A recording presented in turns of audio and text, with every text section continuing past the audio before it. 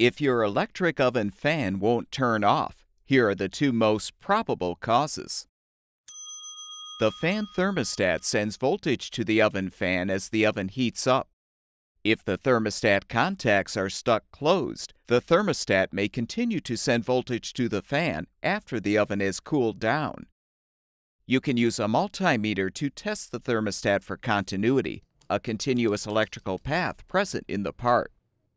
At room temperature, the thermostat contact should be open and the thermostat should test negative for continuity.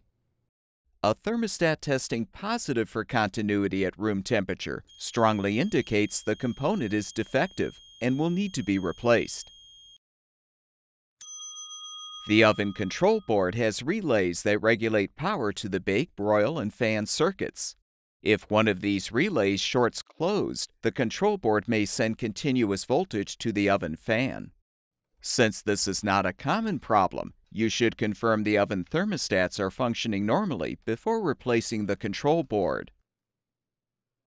Both oven thermostats and control boards are available on our website.